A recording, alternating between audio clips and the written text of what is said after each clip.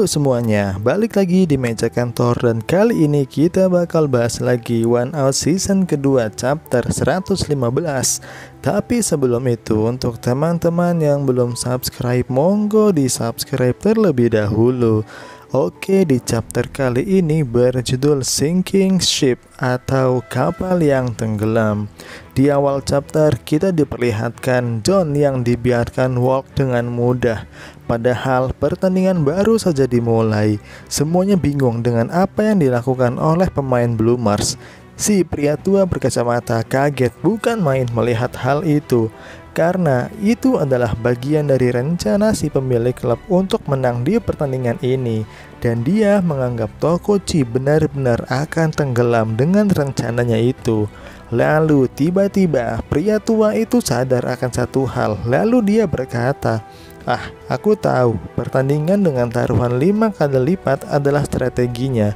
Jika Blue Mars terus membuat John Walk setiap kali dia memukul dan hanya fokus pada pukulan Tokuchi, itu akan menjadi seperti dua naik dan dua turun. Tokuchi memukul dua dan out dua kali. Itu artinya Tokuchi akan rugi 166,67 juta yen. Tapi ada waktu ketika Tokuchi masuk bukan sebagai seorang fielder melainkan sebagai seorang pitcher.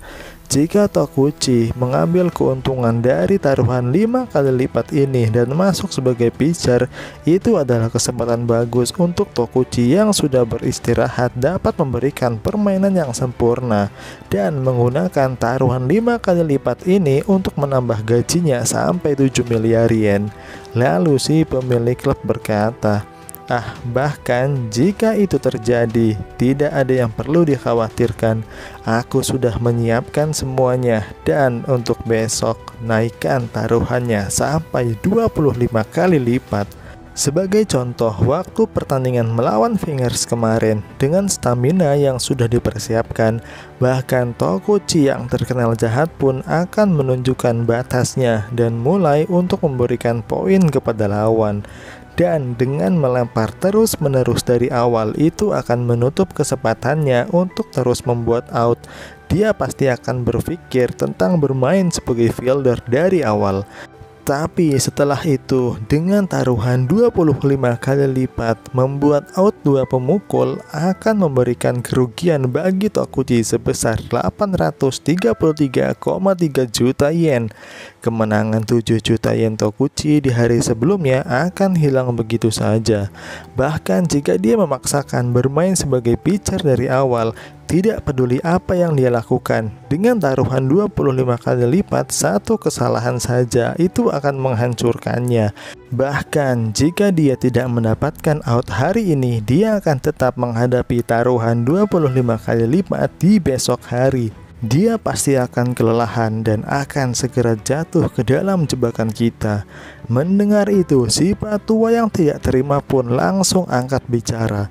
Tidak, Tokuchi itu sangat pintar. Dia mungkin akan bisa menahan tim untuk besok dan dia pasti akan meningkatkan kemenangannya untuk mendapatkan 4 miliar lainnya. Si pemilik klub pun langsung menjawab, "Oke, kalau kau benar, jika dia bisa menangani pertandingan besok, kita akan menaikkan taruhannya lagi sampai 125 kali lipat untuk pertandingan setelah besok." Bahkan jika dia bisa menahan lawan dua kali, tidak ada yang tahu apa yang terjadi saat pertandingan ketiganya. Si pria tua itu pun langsung berkata, tidak, itu tidak berguna, bahkan untuk orang seperti Tokuchi. Tidak peduli bagaimana dia bermain, dia pasti akan mempunyai kesempatan untuk menang. Meskipun dia sangat berusaha, pada akhirnya dia pasti akan bangkrut atau dia akan mendapatkan luka di tengah lapangan di babak kedua dengan dua outs dan runner di base kedua. Pemukul selanjutnya adalah Tokuchi, si pemukul ke-9. Melihat itu, si pria berkacamata hitam berkata, itu adalah sistem yang buruk untuk Tokuchi sejak awal karena membiarkan kita menentukan jumlah kelipatan dari taruhannya. Dia akan berjalan di jalan kekalahan. Di dunia judi itu disebut dengan menggigit tumit atau sesuatu yang seperti itu. Si pemilik klub pun langsung berkata, apa yang membedakan ini dengan istilah menggigit tumit? Itu adalah tidak ada risiko untuk kita dan Tokuchi pasti akan hancur. Di tengah lapangan terlihat Tokuchi berhasil memukul, tapi sayang sekali pukulannya itu langsung mengarah ke pemain bertahan dan membuatnya out. Si pemilik klub pun hanya tertawa lebar dan berkata, "Setiap kali aku melihat Tokuchi memukul, itu terlihat seperti dia sangat menderita. Dia semakin tenggelam dalam perangkat kita." Lalu tiba-tiba si pria tua berkata, "Tidak, aku tidak setuju dengan kau. Secara teori semua yang kau katakan itu memang benar. Tokuchi akan benar-benar mengalami kerugian yang parah. Tapi sampai sekarang bukankah dia bisa mengatasi semuanya dengan mudah? Setiap kali dia menghadapi rintangan seperti ini, dia selalu menyelesaikannya dengan otaknya itu." Pemilik klub pun hanya tertawa kecil mendengar perkataan si pria tua itu. Lalu dia berkata, "Ya, dia memang bisa melewati semua kesulitan di masa lalu, tapi sekarang aku tidak khawatir tentang apa pun. Alasannya adalah aku memiliki satu lagi jebakan Pak Mungkasku." Di tengah lapangan terlihat lagi-lagi John mendapatkan walk dengan mudah seperti sebelumnya. Semua orang hanya bingung karena terlihat seperti pemain Blue Mars menghindari John. Di ruang si pemilik klub, si pria tua kaget dan penasaran apa jebakan yang disiapkan oleh pemilik klub. Tapi pemilik klub hanya diam, tidak mau memberitahu. Di tengah lapangan terlihat Gucci yang mendapatkan tiga out dan di babak ketiga ini pada akhirnya Lycons tidak bisa mencetak skor. Di akhir babak ketiga Gucci adalah pemukul keenam jadi tidak diragukan lagi Tokuchi akan memukul di babak berikutnya. Sang pemilik klub pun hanya tersenyum licik karena itu seperti yang dia harapkan. Si pria tua pun hanya penasaran dengan rencana licik apa yang akan dilakukan oleh si pemilik klub. Lalu si pria tua itu bertanya kepada si pemilik klub, Bos, selain catcher dan pitcher yang kau bayar untuk membiarkan John walk, Kau mengatakan sesuatu yang lain. Apa sesuatu yang lain itu? Si pemilik klub pun menjawab, "Ya, kau tahu pelempar Blue Mars yang bernomor 12 yang kita tahu dia hanya bisa melempar fastball dan slider, tapi dia baru saja berlatih untuk lemparan breaking ball barunya." Si pria tua langsung menjawab, "Tidak, bukan itu yang aku maksud. Yang aku tanya itu rencanamu untuk melawan Tokuchi." Lalu tiba-tiba si pria berkacamata hitam berkata, Hei, tahan sebentar. Tokuchi akan memukul setelah ini. Diam sebentar sampai dia selesai, oke? Okay?